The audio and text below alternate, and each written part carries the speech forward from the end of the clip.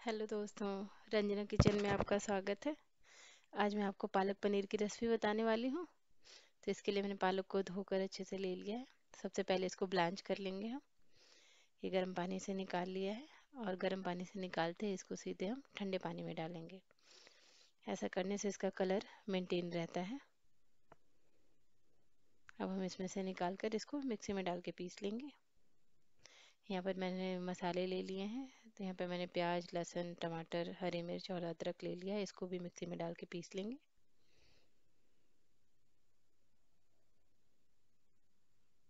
अभी मैंने कढ़ाई ले ली है। सबसे पहले हम इसमें पनीर डाल के फ्राई कर लेंगे। आप चाहें तो बिना फ्राई करे भी बना सकते हैं। मुझे फ्राई करे हुए पनीर का टेस्ट पसंद आता है। इसलिए मैं इस तरह से बना रही हूँ। तो ये पनीर हमारे फ्राई हो गए हैं। हम निकाल लेंगे। अब इसी सेम कढ़ाई में ही मैं ग्रेवी बनाऊँगी। दोस्तों, अगर अभी तक आपने मेरा चैनल सब्सक्राइब नहीं करा है तो मेरे चैनल को सब्सक्राइब कर लीजिए। अब हम इसमें थोड़ा सा जीरा डाल देंगे।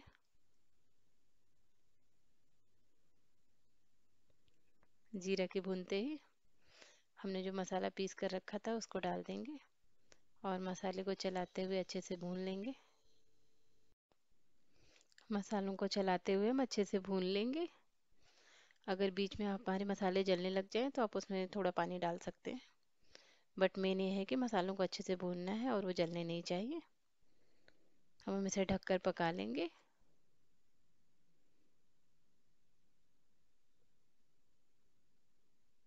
तो ये मैंने मसालों को ढककर पका लिया है। अब मैं इसमें पिसा हुआ पालक डाल दूँगी। ब्लांच करके लेने से देखिए पालक का कितना अच्छा कलर आया है। अब हम इसको चलाते हुए मिक्स कर लेंगे अच्छे से।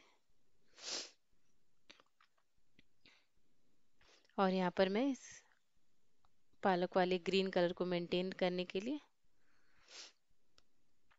थोड़ा सा ट्रिक्स लगाऊँगी। तो यहाँ पे मैं थोड़ा सा नमक डाल देती हूँ।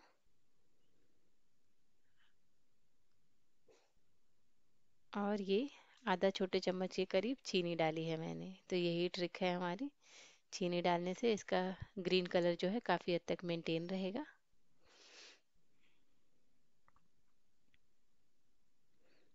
अब हम यहाँ पे थोड़ा सा धनिया पाउडर डाल देंगे।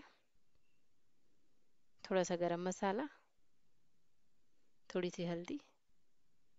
मसालों को भी हम चलाते हुए मिक्स कर लेंगे। पालक पनीर की रेसिपी में बहुत ज़्यादा मसालों की ज़रूरत नहीं रहती है। पालक पनीर या पालक की किसी भी रेसिपी में बहुत ज़्यादा मसालों की ज़रूरत नहीं रहती है। तो ये हमारी पालक पनीर की ग्रेवी जो है ऑलमोस्ट बनकर तैयार है। ये थोड़ा सूखा लग रहा है तो मैं इसमें थोड़ा पानी डाल दूँगी। पानी डालकर थोड़ा सा पका लेंगे।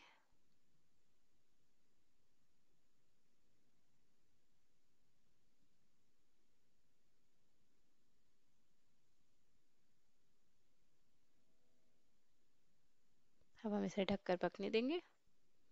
ये एंड में मैंने दो बड़े चम्मच के करीब दही लिया है। आप दही की जगह मलाई भी ले सकते हैं। इसको मिक्स कर लेंगे ग्रेवी में। इससे ग्रेवी का टेक्सचर थोड़ा अच्छा हो जाएगा।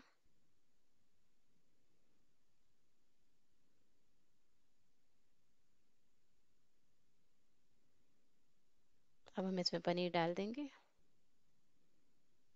तो ये हमारी मज़ेदार पालक पनीर की रेसिपी बनकर तैयार हो गई है। अब मैं इसको सर्व कर लेती हूँ।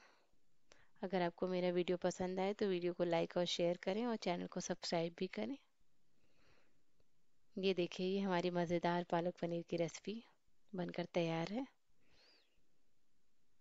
Thank you so much